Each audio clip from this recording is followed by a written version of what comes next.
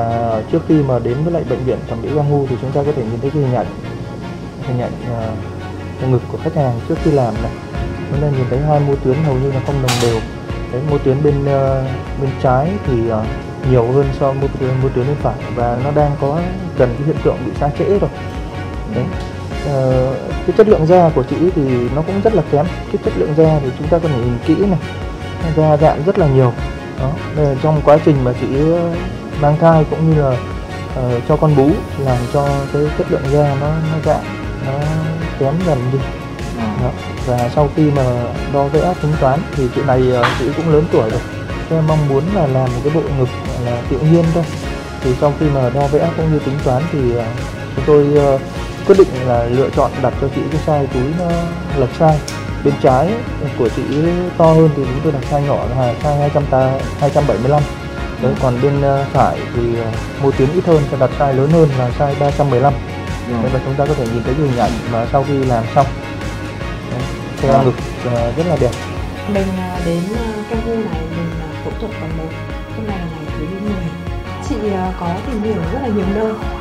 Nhưng mà đến cái lúc mà bởi vì chị ở rất là gần đây. Xong rồi chị có tìm hiểu đến cái bệnh viện thẩm mỹ của Camo bên đây yeah. chị thấy là ekip bác sĩ ở bên yeah. này có những cái hình ảnh livestream yeah.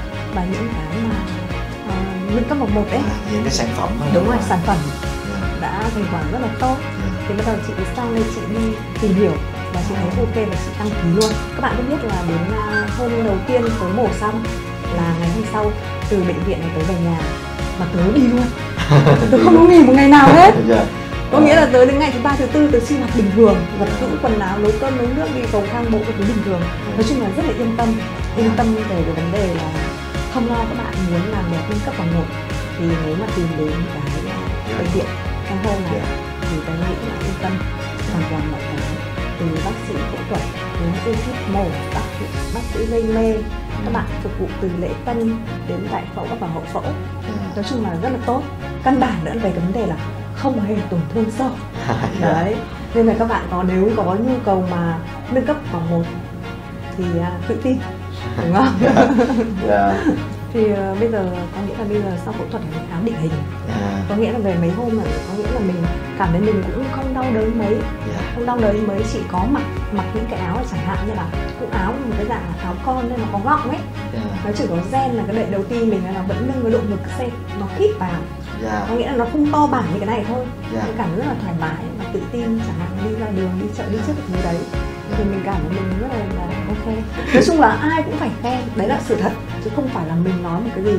Không phải là tự bản thân mình khen cho bản thân mình mà đấy là sự thật các bạn mình là ai cũng phải khen đến lúc mà mình mở cả ngực ra mình không mặc áo mở cả ngực ra có nghĩa là ai cũng phải khen là thứ nhất là nó cân với thứ hai là đặt quả ngực nó rất là ok.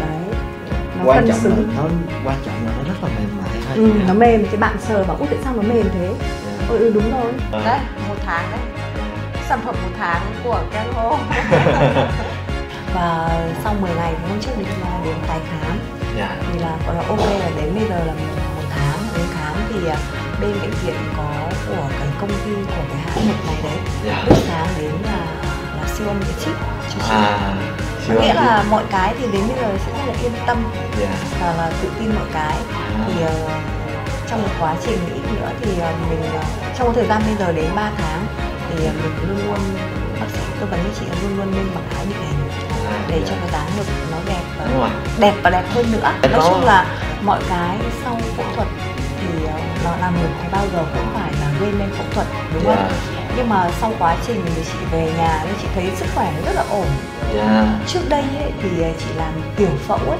yeah. thì dạ. về thì sau một hai tuần ấy, trạng thái cơ thể nó kiểu nó không được bình thường ấy à. em hiểu không bởi vì nó mất máu à.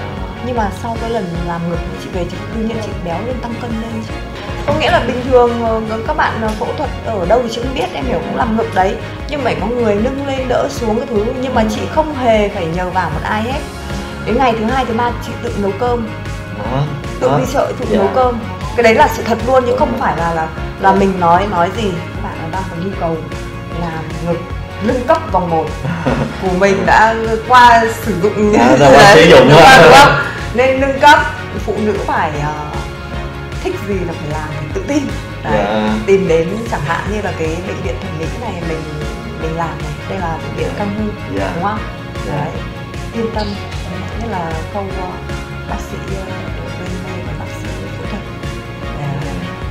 Các em phục vụ tại bệnh viện này là rất là yên tâm. Yeah. nói chung là chị quá là là là là, là ưng ý. Yeah